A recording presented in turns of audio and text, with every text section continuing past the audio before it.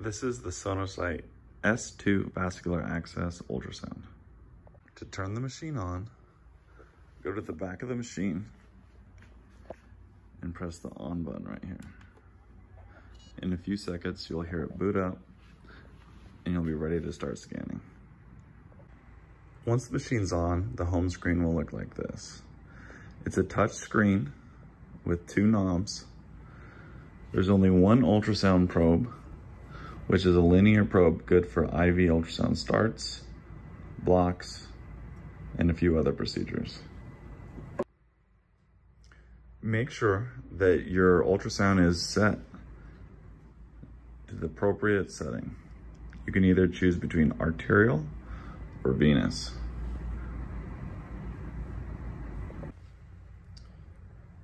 These are the two main knobs that you'll be using. In order to control depth, can turn this knob here. In order to control gain, which you can think of as screen brightness, you can adjust it here.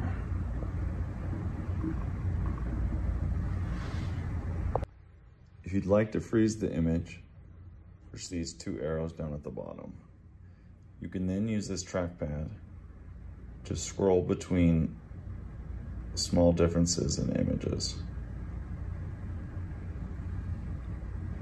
If you'd like to take a picture, you can click on this button right here.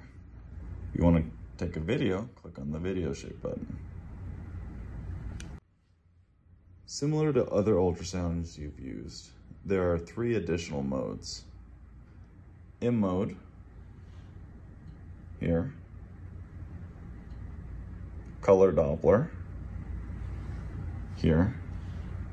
Once you have the color Doppler, you can use the trackpad and get the image you like. If you need to change the resolution, you can do so here.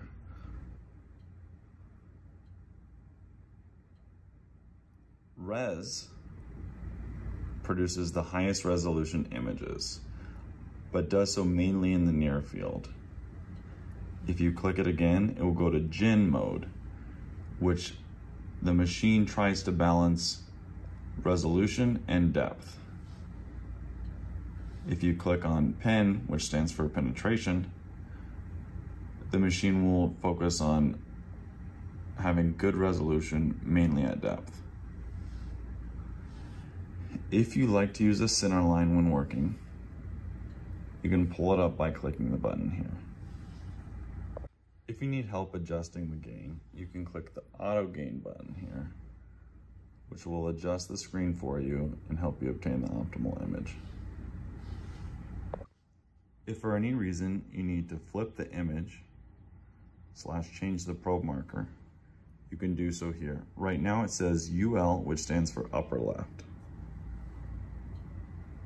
You can flip through the various orientations, but mainly we'll want to keep it in upper left. If you need to annotate an image, such as write or create a picture, you can click this button here. You can label things, you can add a picture, or add an arrow. If we click label, we can sort through a lot of preset options.